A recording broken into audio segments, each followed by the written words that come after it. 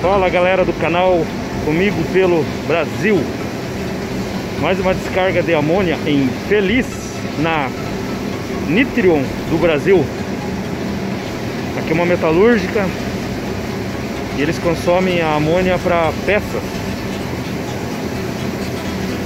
Estamos descarregando aqui agora. Eles estão fazendo umas obras aí Pelo jeito o reservatório é meio novo ainda Uma meio ancorado por palanque, vai vamos fazer um, um cercado aqui porque pra, até mesmo para segurança, né?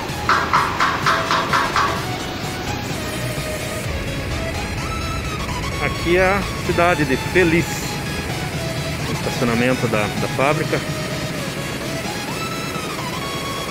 As laranjinhas aqui, lugar bonito. Mas é isso aí, galera. Até uma próxima.